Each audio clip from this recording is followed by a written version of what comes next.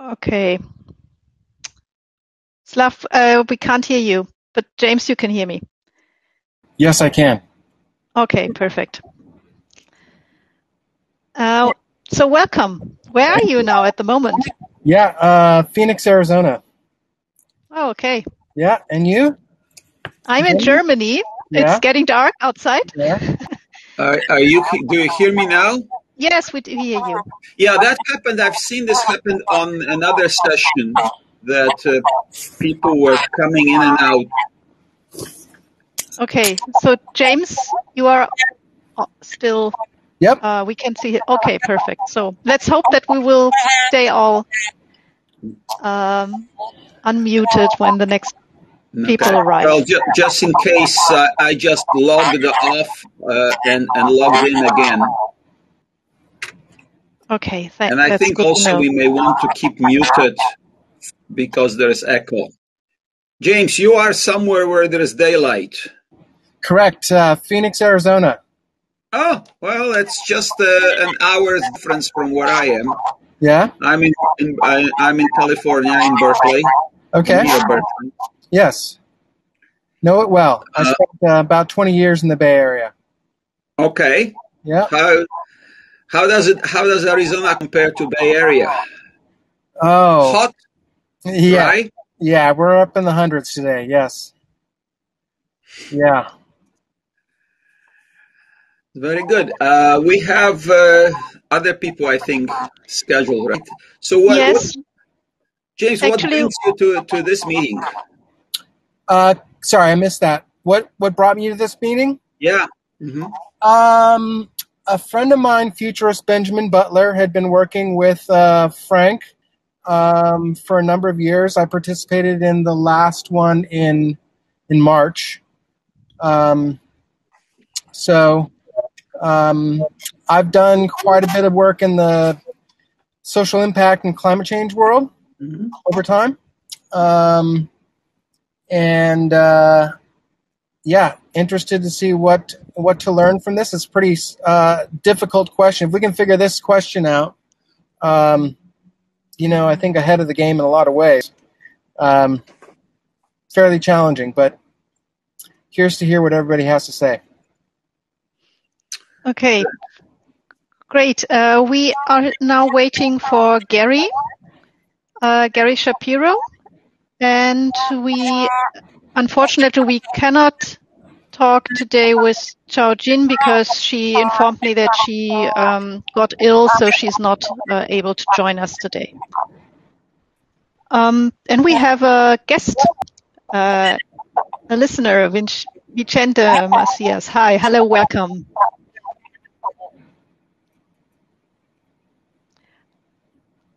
Mm, well, because we don't have a lot of time, I, uh, I feel a bit. It's a bit confusing that we have a, a backslash somehow audio. Is it possible to mute yourself when you are not speaking, or at least when you're not using headphones? Hello, uh, Gary. Hi, welcome. That was an experience. I had to download Chrome. I had to set all this stuff up, a password and everything, and it's quite an effort to get on here. Yes, it's a bit challenging. But it's Hi, worth hello. it. It's worth it. Yes, I hope so. Okay, so uh, now we are um, complete, actually, because uh, our f- um, first, uh, our uh, participant number four, Chao Jin, cannot join us today. So um, we can start. Um, the session is about the next crisis. No one saw it coming. So um, taking the experiences we uh, made with COVID pandemic we are still in, um, what experience or what makes us um uh, be prepared for the next uh, crisis? So have we learned something in, for example, using foresight methods or foresight activities or strategic thinking? Um, and for this, I would uh, now, as a starting point, um, would like to ask you to invite you to say a few words about yourself, and then, of course, a couple of words and some ideas you uh, brought to this session today about um, what could be possible ways to be prepared uh, for the next crisis. I would like to start uh, with James. James, please. Uh, we are muted now. Here we go. Uh, so James Hanusa, I'm in Phoenix, Arizona. Um, I have been doing a lot of work in uh, climate and sustainability, um, as well as some corporate consulting on strategy um, over the years, and have a technology background, uh, as well as um, you know, keep fairly current with uh, many of my futurist friends. Um, you know, I'd say there's you know many kind of tried and true foresight uh, methodologies. Um, I think what maybe hasn't been built into a lot of them in the past has been um, the speed um, of of multiple crises, um, and I think that um, you know, in addition to uh, teams that are built and ready for uh, deployment, basically, um, you know, disaster response, crisis response teams, not in crisis communication, but more on a, uh, I think, a logistics and a um, business continuity perspective. Um, you know, those are some keys. Um, I think that also, you know, some of the newer technologies, AI, quantum um, computing, um, might be built um, as we go forward uh, to model some of these more sophisticated multi-crisis uh, types of scenarios as they come. And I think some of these are are probably more predictable than the current crisis that we have in the the global shutdown. Um, but I think the imagination of what to do and the, and the impacts on businesses, um, you know, some areas to look at in this conversation. Great to be here. Okay. Thank you. Thank you. Thank you. Um, then Gary, please, would you like to introduce yourself and raise your points? Okay, um, I'm on, and I suggest those that aren't turn off their microphone. Thank you. I'm Gary Shapiro. I am president and CEO of the Consumer Technology Association in the United States. We're based in the Washington, D.C. area. Uh, we represent 2,000 technology companies, from the largest that you'd recognize, like Apple and Sony, to the smallest. 80% of our companies are small business. We also represent uh, disruptive companies, a whole bunch of them in different areas, uh, like Airbnb and Uber and things like that, um, Pandora, um, as well as uh, others in the exercise field. Uh, so we, we are um, out there. We own and produce the CES, which is the world's largest innovation event. Uh, I've been very focused on innovation my entire career. I've written three books and over a thousand articles on it. Um, I, I like to call myself a futurist. I want to get that heading. I want to figure out how to be cool and call myself that because it's there. But what we, our own experience, um, first of all, I've been talking about pandemics publicly for several years as, as a risk. So I guess I saw it coming. A BBC reporter actually played a recording for me recently when he interviewed me six or seven years ago, uh, where I talked about the concern I had for the events world uh, on that pandemic. So pandemic was not out of the question. We certainly had enough of them. I think the what I was more sensitive to, and I got a lot of this from my wife, who's a surgeon. Uh, in January, she she hit the alarm bell as hard as she could hit it, and she even attended one of my uh, senior meet- meetings in February with uh, CEOs in Florida the first week of February, and she just said, "You guys are in denial. This is Kubler Ross stages of denial. This is the biggest thing to hit our lives." February 2020. It's going to disrupt uh, supply chains. It's going to affect the stock market. It's going to cause social unrest, and you have to prepare and change everything you're doing. That helped us actually. Uh, we were we were transforming by February.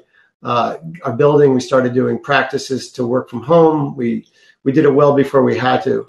And we also planned early. So by early March, we had decided on a strategy of um, our own for our own, and where we defined our two big objectives, which was to um, number one, focus on our biggest event, CES, and prepare for a digital only version. And in any case, go to a hybrid approach.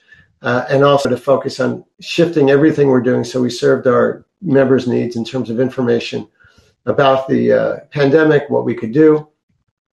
And we ended up um, working with the White House to develop a website. We developed all sorts of tools. We focused on telemedicine. Uh, we promoted the heck out of that so people would shift to it and make sure there weren't barriers in place for that. But I think that the biggest learning from from it is is not something that's new and certainly didn't come from me. But it is that you can prepare all you want, but then you have to be flexible when you hit the battlefield. And there's other ways of saying that.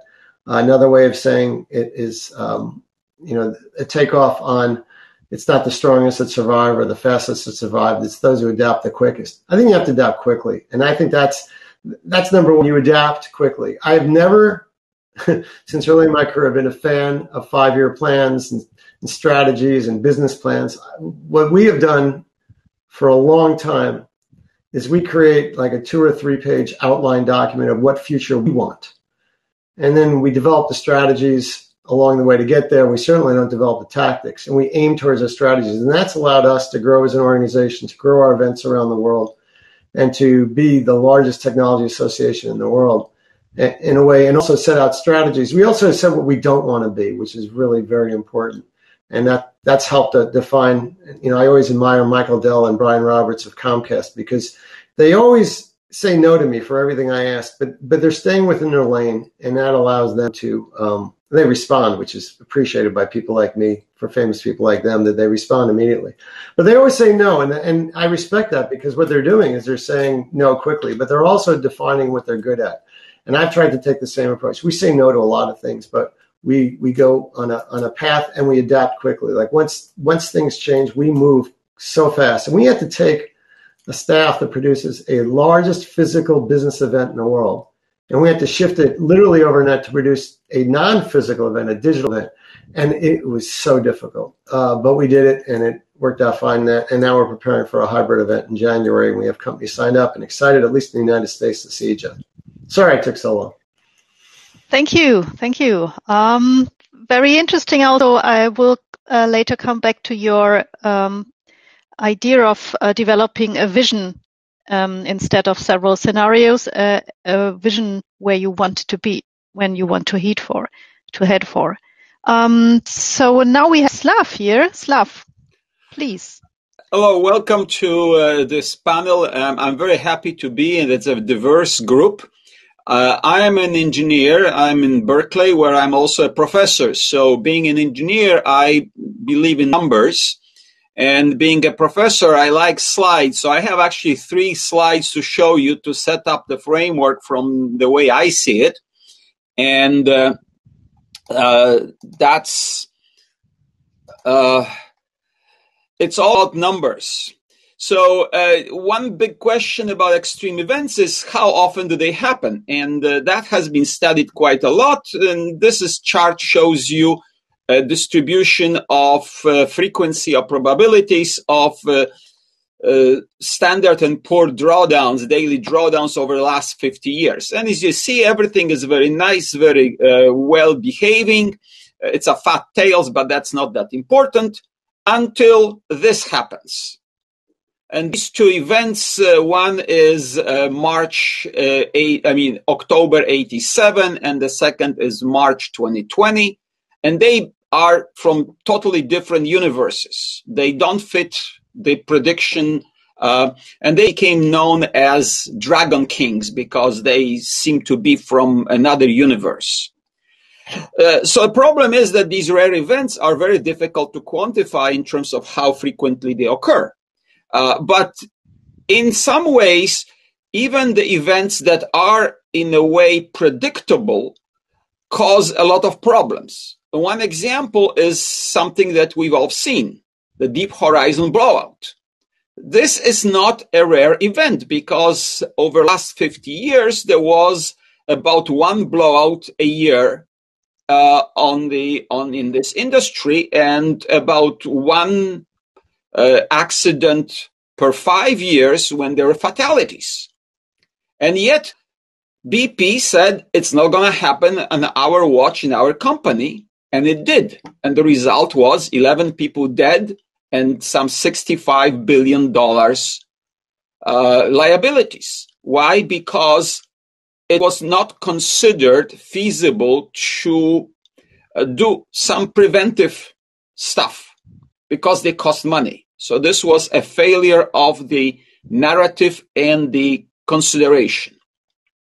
And the last thing I want to share with you is a slide uh, from just very recent report by McKinsey on uh, risks, but particularly the top part.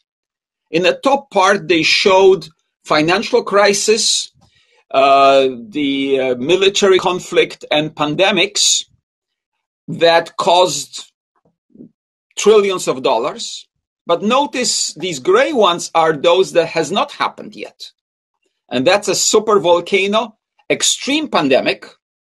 Presumably, what we've seen last year is not that big a deal, according to them. And some of those, like uh, Earth being hit, hit by a, uh, a planetoid or something like this. And these would be tens of trillions of dollars. So the question is, how do we deal with this where we have very little understanding about the frequency of occurrence. And moreover, we typically neglect to think about consequences. Oh, this is just going to be something we can handle. So that's about it from me for uh, for uh, for now.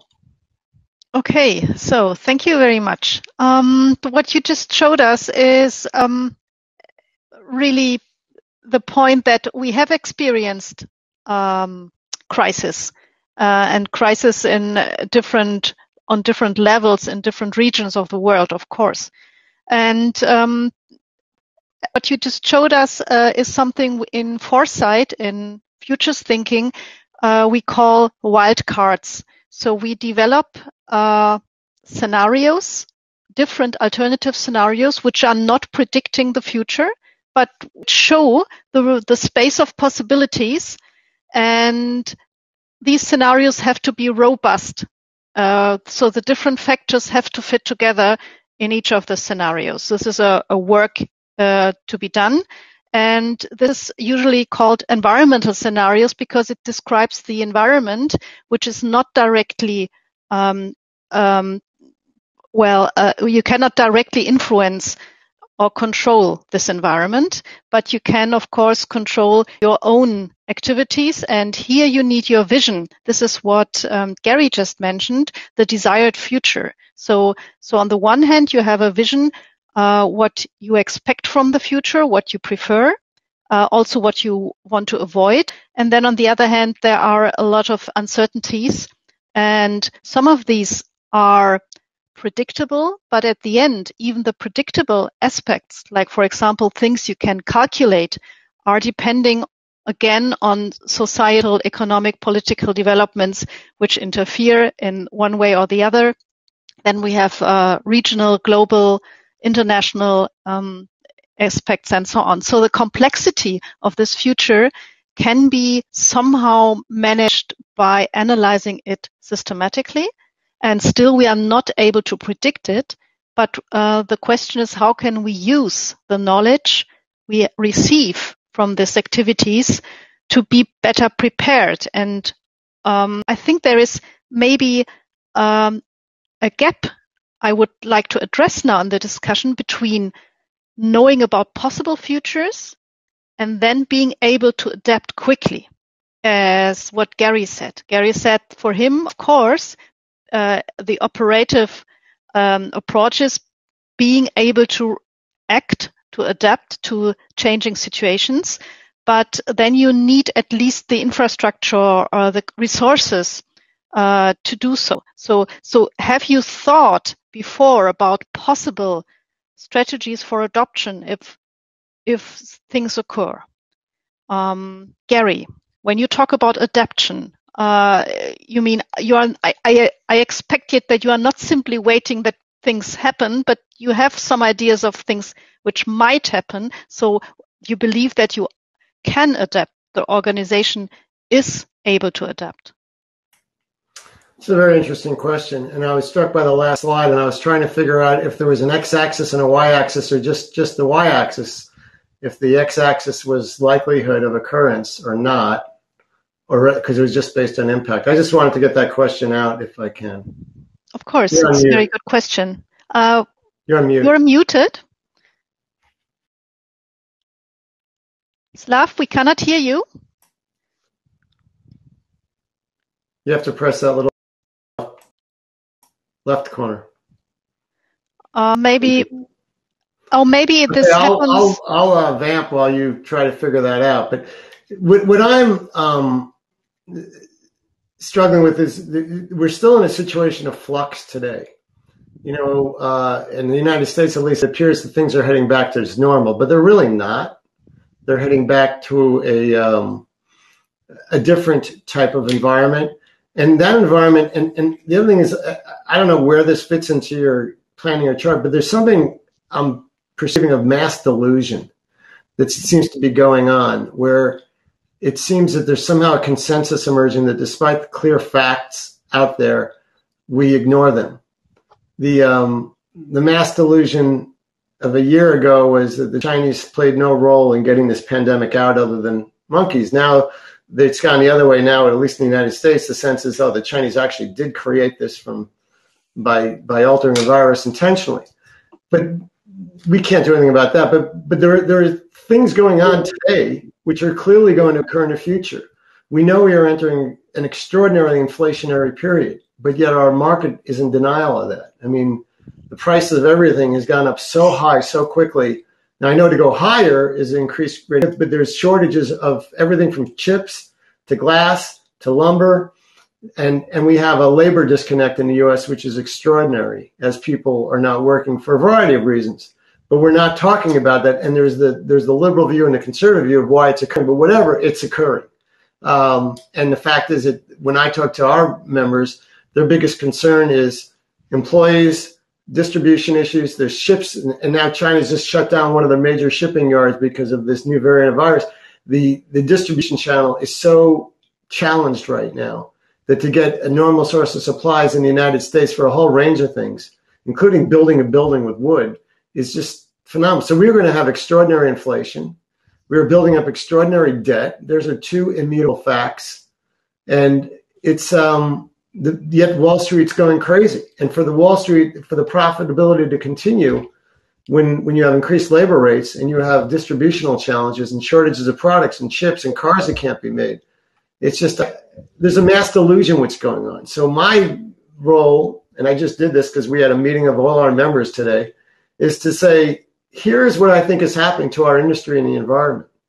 You have to figure out what you're going to do about it. Here's what we can do. I mean, we could help at the edges with legislation and policy and and um, different things we do. But the reality is, every company, every entity has to make their own decision about how they deal with the reality that's out there. And this isn't long term reality. This is next year or two or three short term reality with rising interest rates and things like that, and a federal government that's that won't be able to afford most programs in a matter of just a few years. I mean, so I don't want to be the uh, the person in the who's always complaining about everything, but I feel that way lately, given the fact that I just think that for whatever reason, a collection of social media and everything is that society has shifted to a social delusion, and all the focus is on something which is, and I know uh, one of you is very interested, James, and you're very focused on climate change everything's focused on climate change. It's that's something where we could have marginal impact and it'll take many, many years. And of course, we have to start now. We have to do what we can. But all the energy on changing things that are going to happen is sucked into one area, which is, and there's not a comparison of what you can have an impact on and do things about today in other areas. So there's not a balance of societal problems or even company problems. It's just like what happened last June in the United States and spread around the world a year ago was there was a focus on race. And now there's an intense, incredible focus on race. The, the, the pendulum is swung so far that it's it's beyond the pale. It's where we have a, a mayor in Chicago now refusing to, to meet with white reporters. We have, you know, people being added for racial things. I mean, it's just gone so beyond it. And it ignores and flies in the face of facts about things and proportionality of like how many how many black people were killed by white policemen last year? About a dozen. How many people? How many police killed other people? A lot more. And how many blacks were killed by other blacks? Like tens of thousands. So we have real proportionality issues that no one can talk about anymore. And I think that's hurting strategic planning, it's hurting process, and it's hurting business. So I probably got myself in major trouble by saying it that way. And all my facts are not precise, but the general view is there is we've lost all rationality and proportionality. Uh, thank you, James. Uh, sorry, Gary. Um, James, I wanted to ask you now because we have some questions also by our audience uh, raised in the chat uh, section, and uh, Gary mentioned already uh, the climate change as a challenge, and there has been a there actually there are two questions. One is about what are potential causes for the next crisis, and Sergey also uh, well explains that he he believes that climate change impact could be a factor or a, a driving factor for a next crisis. And you said you are dealing with climate change or you are interested in climate change aspects or actions. What do you think about it? So I think that um, a lot of times, um, and I think the way that companies are planning for climate change, countries are planning for climate change, um, you know, it's generally 50 to 100 year horizons. Like it's a it's a distant phenomenon right now. Um, but you know, the truth. I talked about like kind of multiple um, crises happening, and you know how that might affect supply chain, how that might affect um, socioeconomics. So. Um, it's not a stretch to think that we get hit. The U.S. anyway gets hit by, you know, 10 to 15 hurricanes um, this year. Um, that there are torna- tornadoes in the the Midwest and drought um, all along the West Coast, from Washington to you know the the Southwest, um, and um, along with climate change, um, you've got uh, a lot of climate refugee issues. So um, that could strike uh, southern borders. We're seeing it in Europe now. Um, you know, some attribute to war, some attribute to economic situations, but a, a lot of that is attributable to drought and other things um, in the Middle East. So, um, you know, how does that affect um, uh, civil unrest? Uh, how does that affect uh, how to respond to, to border issues? How does that affect um, uh, logistical issues? Um, are all, I think, current versus you know 50 year out 100 year out um, and especially how to deal with with with multiple um, you know climate crisis catastrophes uh, disaster let's call them natural disasters is, is generally how they're referred to. Um, mm-hmm. but how do you you you um, respond to multiple happening at once? Um, let's say in a geographic region.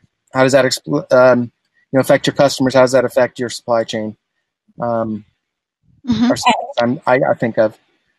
Um, and I think Slav has some expertise in this world as well. Thank you. Thank you very much, James. I think it's uh, very helpful uh, how you put it um, that you uh, believe that the multiple um, inter, um, interrelations between these different uh, disasters, uh, they, they actually bring all these problems we have. So it's not that we can just handle with one or two uh, uh, developments, but we are we are facing so many different activity, uh, so many different challenges um, due to climate change, natural disasters, uh, causing um, logistic problems, of course, migration, and taking into account that still uh, almost eight, 90 percent, as far as I know, of migration still happens in within the region where um, the problem occurs. So, so, and still we have these huge problems. Um, we have also some requests for microphones from our audience. Before I ask uh, Li Chu to join the uh, discussion, um, Slav, uh, yeah. do you want to add, add, something, please? Yeah, thanks. Uh, I wanted to follow up and, and finally I figure out that the IT is not the greatest because uh, I had to log out and then log in to to be unmuted. Uh, anyway, so they, they answered as to what that uh, is on the horizontal axis of the slide I showed, and that's the lead time. A lead time that can be years, can be months, or can be minutes. And that's, I think, very important for, for two reasons, because it follows to what Gary and what James were saying. First of all, there are certain things that we have to take care now, but also some of these things that we have to start taking care now will take a long time climate change, which I am very much involved in is, as, as, a, as a researcher, uh, it's going to happen uh, on the period of decades or more.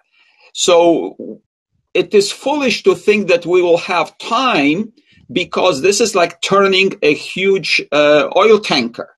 It doesn't turn on the dime. So that's one part.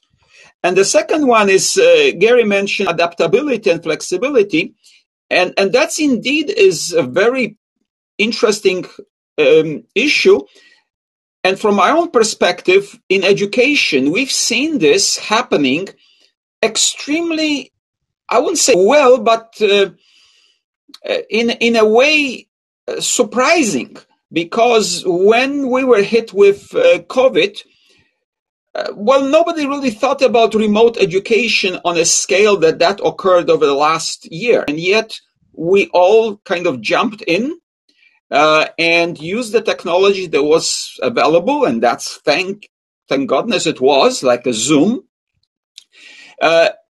And it and it worked. Okay, we didn't really plan for any long term remote education. As a matter of fact, there was this huge mental barrier among educators about professor uh, around professors that it's not going to work. Uh, now, of course, the problem is that what we have done is we took the uh, hundred year old pedagogical forms like the large lectures and we s- stuff it into digital channels. Uh, we have to learn what we can do with this new technology. So that's going to take time. But I'm thinking that there are very positive aspects of adaptability and, and resilience as a society, at least some parts of it. So that makes me half optimist. Mm-hmm. Okay. Uh, thank you. And uh, also thank you very much for uh, explaining that one of the axes is about time, uh, which leads us on the one hand to the duration of these events or of these catastrophes, but also to the time we need to manage it. And the crisis is usually also something which means the, the time to come back to a new normal after such an event. Um, so now I would like to invite our audience to um, uh, contribute and oh, I hope she hasn't left uh, now because no, here she is. Um, Li Chu, um, I'll try to manage to give you the mic. I hope it works. So I think now you can talk with us or oh, speak. Oh, okay. Yeah, oh, here you are. Hey. You're welcome. Hi. Uh, hi. Hey, I have a, uh, first, I agree uh, everyone's comments. I am um, definitely uh, concerned with coming, maybe another one or more uh, crisis, different versions. Um, I'm just a little confused at the moment. Uh, in US, I just left from Texas um, here in Portugal right now. Um, so the consensus in US, of course, we're going to have a huge, unre- um, unpredictable uh, uh, inflation. However, in Europe here, people are more concerned about deflation. Um, in Asia, I believe majority people not worrying about either way. So I don't know what's your um, take on on this kind of you know. I mean, every all the government issues tons of money these days. So what's the uh, what what do you think on the differences among the continents? Thank you very much uh, for this question. Who wants to answer to this? Well, I maybe jumped in a little bit. Oh, am okay, I? please. Okay, you can hear me, yeah? Uh, well, I, I think uh, my my uh, friends in China are very much concerned about inflation. Uh, well, Gary made a, a, very good point that we have inflation that uh, we only now seeing on a daily level, but we had inflation in uh, financial assets. Uh, you know, think about Bitcoin that sucked tremendous amount of money that was printed. Uh, think about uh, stock market that sucked a tremendous amount of money. Well, that is inflation and housing, same story. And only, but this is not related to maybe everybody's daily life because not everybody has a Bitcoin. Uh, so it seems at least. Uh, but now, when you have uh, and you want to buy a piece of plywood and it costs you twice as much as it was, now you see it. So I think the inflation is is is is kind of lurking uh, on the horizon, and it's now we see it in different different forms. Okay, thank well, you. I'm not an economist, but. Um, mm-hmm. Gary, you are nodding. And you are muted. I was nodding in agreement. I mean, the inflation is being is being felt differently, and it is people are seeing at the gasoline pump. Um, they're seeing in higher prices for food, and it's real, and it will be there. And we have essentially a whole generation of people that don't even know about inflation. They don't know about interest rates that are under that are over four or five percent, and it's going to be shocking. I think um, and, and the you know the U.S. economy has been kept up by uh, some the federal the, government is borrowing money from itself. I've never seen it, and we've been getting away with it for like ten years now. It's incredible, magic. I don't understand how it works, and I'm a, I have an economics degree, but it's working and it's helped the economy. But but this it's not sustainable, uh, and we're already seeing that the Chinese are not are starting to cut back on their holdings of, of U.S. debt and you know, we're in a very. I, I the problem with a lot of planning is the inflection points. When you know, you can always predict the trend will continue until it doesn't, and it's a matter of predicting when the trend will stop. And it's very difficult to do that. But I think interest rates are going to rise, inflation is going to rise. Um, corporate profits are probably peaking because there's been so much money thrown in, into the economy, and we're going to face uh, a much more difficult and challenging situation in the next year or two and you know that gets wrapped up in the politics and there'll be blame and the parties will fight but meanwhile uh, you know we also have a very divided country and and i know this is a global thing so i don't want to just focus on the us i don't understand deflationary concerns in europe at all. Uh, i just don't get it. But right now because of the pandemic most people are focusing on getting through the next quarter and that certainly is the incentive for the for the corporate system right now is getting through each quarter or each month's numbers. Um, but but as things change relatively quickly, as you know, there's there's talk today in the U.S. about you know oil prices hitting hundred dollars a barrel. There's there's things that there's going to be a lot of sh- uh, sticker shock, and that's why I, I didn't mean to, in my comments to to say that the focus on climate change is improper. I mean that it should be weighed against everything else that we have to deal with, in companies are in the business world and even our political world and economic world and media seem to be gravitating from one huge crisis to another without putting things in proportion. And that's what I think we lack in a lot of our discussions about a lot of things is proportionality of risk, proportionality of likelihood, you know, all these different things that occur. And, you know, there is a bright future in my world. There's a bright future of self-driving cars and artificial intelligence and staying healthy longer and having all these miracles of technology making life better. And that's going to also produce a lot of economic uh, gain and produce jobs and make people healthier, live longer, safer, get educated, more customized, everything we want to do and, and stay connected with each other. So I think there is there's positive things that are happening in the world, but there's some really strong forces now where we're just I feel like we're the family spending on a like credit card and ignoring the reality of what's going to occur. We're not acting very maturely as a society, I guess is what I'm trying to say. Um, okay. And some of the reactions to COVID were just inspiring. I would agree with that. We did bring out some of the best in humanity, but but some of them were not inspiring at all, and especially with some of the, the debates going on in the U.S. about what the facts were, and you know we had our own challenges here, which I it wasn't yeah. our finest moment.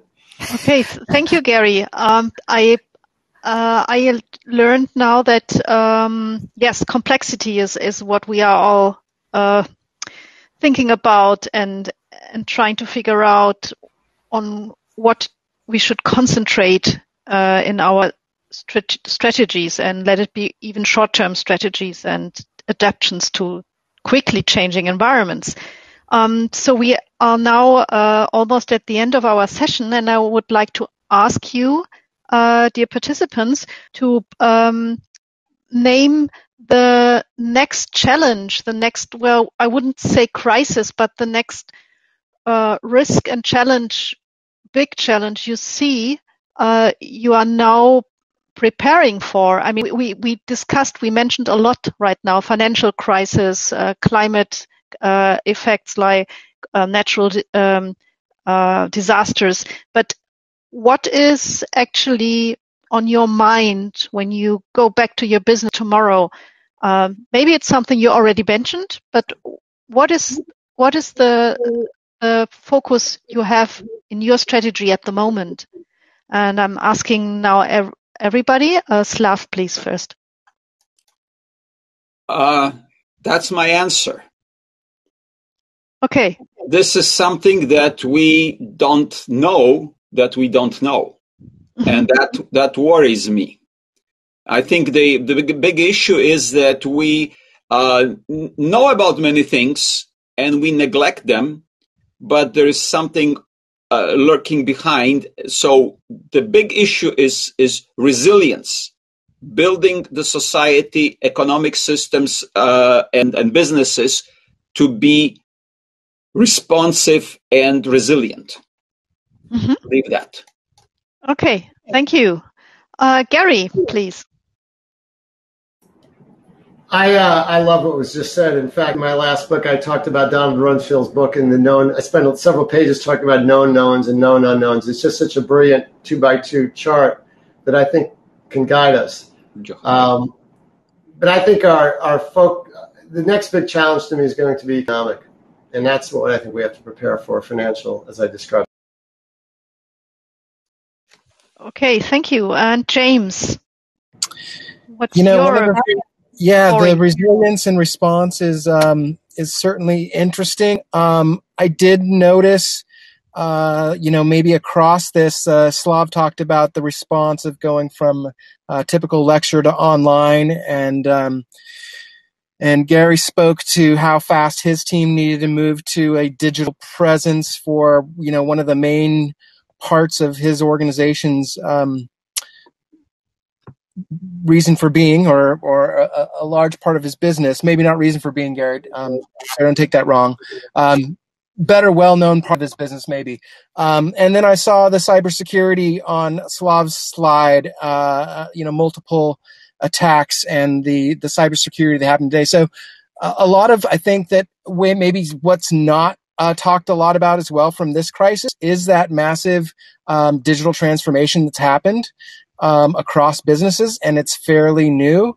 Um, and I don't know that we've got the um, system set up for that um, relatively quick transition. Some say we've we've done you know five years in digital uh, you know changes in behavior and infrastructure um, in the last year. Um, and I don't think that a lot of the the threats or, that are associated with that um, rapid rapid change um, have been digested by and large right now. I think the opportunity Okay. has, but not maybe the risks associated with it. Okay. Thank you. Thank you very much. We have also some comments from our um, audience here. Um, for example, uh, diversity? No. Di- uh, Liju, would you like to? Yes, please.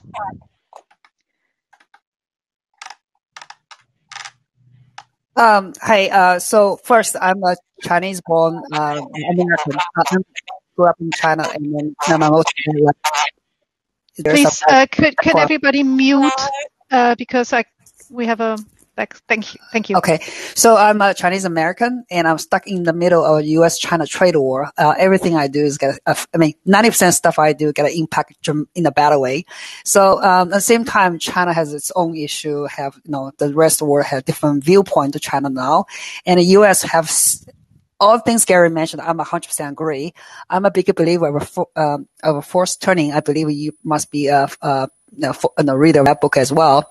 And then I'm extremely concerned but I don't know what's going to happen, how to predict. So I moved myself to Europe. so, because um, I assume if China